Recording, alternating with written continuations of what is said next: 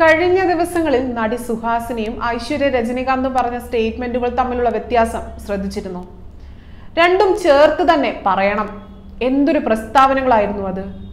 കേൾക്കുന്ന മനുഷ്യരിൽ അഭിമാനവും ആശ്വാസവും തോന്നിപ്പിക്കുന്നവ. നാണം കെട്ട സംഘീഭാരതത്തിൽ ഇപ്പോഴും പ്രതീക്ഷകൾ ബാക്കിയാണ്. സുഹാസിനി അഭിമാനത്തോടെ പറയുന്നുണ്ട് തന്റെ മകൻ ടി നഗറിലെ സി പി ഐ എം ഓഫീസിലേക്ക് കടന്നു ചെന്ന നിമിഷത്തെക്കുറിച്ച്.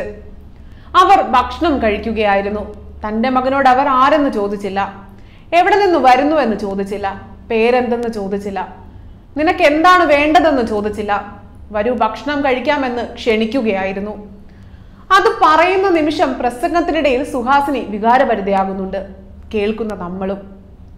രജനീകാന്തിന്റെ മകൾ ഐശ്വര്യയും പറയുന്നത് വികാരപരിതയായി തന്നെയാണ്. അത് പക്ഷേ തന്റെ അച്ഛൻ സംഖ്യയല്ല ഒരിക്കലുമല്ല എന്ന് തറപ്പിച്ചു പറയാനാണ്. തന്റെ അച്ഛൻ മനുഷ്യത്വമുള്ളയാളെന്ന് ഒന്നുകൂടി പറയാനാണ്.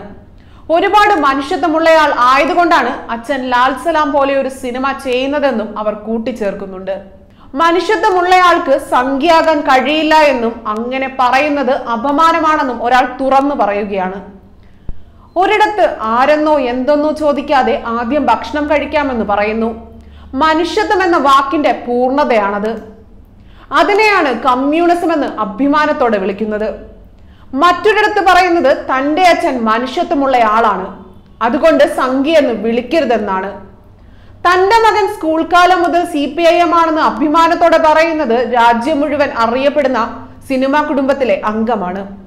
അതേസമയം തന്റെ അച്ഛനെ സംഖ്യ എന്ന് വിളിക്കരുതേ.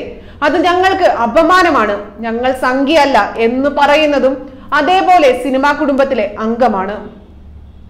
ഇത്രമേൽ സുന്ദരമായ രണ്ട് പ്രസ്താവനകൾ അടുത്ത കാലത്തൊന്നും കേട്ടിട്ടില്ല. ഈ കെട്ട സംഘിക്കാലത്ത് സംഘി എന്ന് വിളിക്കുന്നത് അപമാനമായും കമ്മ്യൂണിസ്റ്റ് എന്നത് അഭിമാനമായും കാണുന്ന മനുഷ്യർ രണ്ടിന്റെയും അർത്ഥമൊന്ന് തന്നെയാണ്. ആരും ഇന്ന് സംഘി എന്ന ലേബലിൽ അറിയപ്പെടാൻ ആഗ്രഹിക്കുന്നില്ല. മതേതര ഭാരതത്തിൽ നിന്നുള്ള ഒരേ ഒരു ഓപ്ഷൻ കമ്മ്യൂണിസ്റ്റ് എന്ന് അറിയപ്പെടുക തന്നെ.